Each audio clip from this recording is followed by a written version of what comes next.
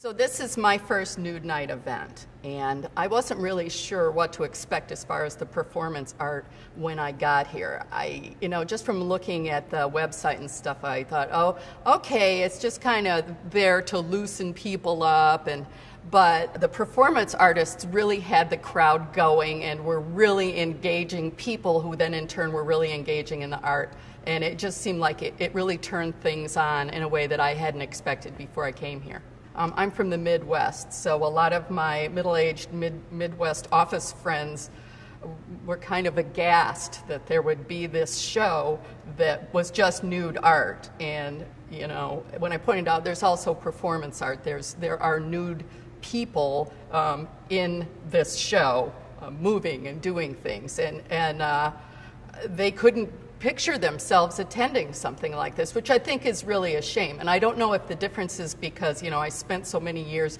looking at nude bodies. I, I, I, have a nude body under my clothes. I mean, it just seems perfectly natural to me, but it surprised me that they weren't more, um, they more, more intrigued by the concept. I'm Lori Beavers, um, and I, I, guess Beavers is a pretty apt name for a Nude Nite artist. I wouldn't, uh, wouldn't miss this for the world.